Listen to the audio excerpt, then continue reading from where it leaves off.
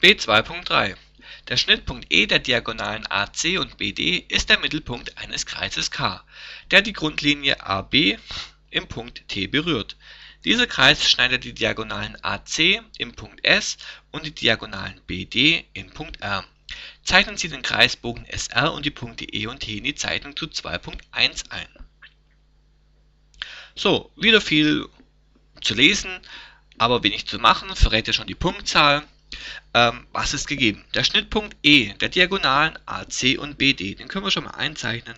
Also der Schnittpunkt der Diagonalen ist der Punkt E. Ist Mittelpunkt eines Kreises K. Also hier müssen wir einen Kreis drumherum zeichnen, der die Grundlinie AB im Punkt T berührt. So, als dieser Kreis hat einen Radius, der so groß ist, dass er die Strecke AB eben berührt. Um diesen Radius jetzt möglichst sauber zu bekommen, zeichne ich eine weitere Hilfslinie ein, nämlich eine weitere Strecke, die den Punkt, durch den Punkt E geht und bis zur AB. Und dann ist es von E bis nach hier unten, das ist dann ein Punkt T, das ist der Radius des Kreises.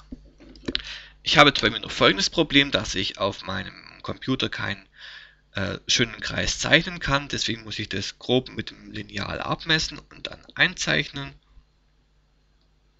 Also ich zeichne jetzt einfach im Kreis um E mit diesem Radius von ca. 3,8 cm bei mir. Ja, also mit, auf, mit, mit Zirkel und Lineal auf dem Blatt Papier ist der viel schneller und schöner gezeichnet.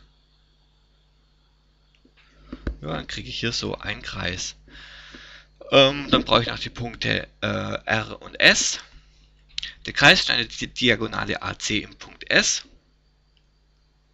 Also habe ich hier S und die Diagonale BD im Punkt R. Den habe ich demnach hier. Und damit wird die Aufgabe schon fertig.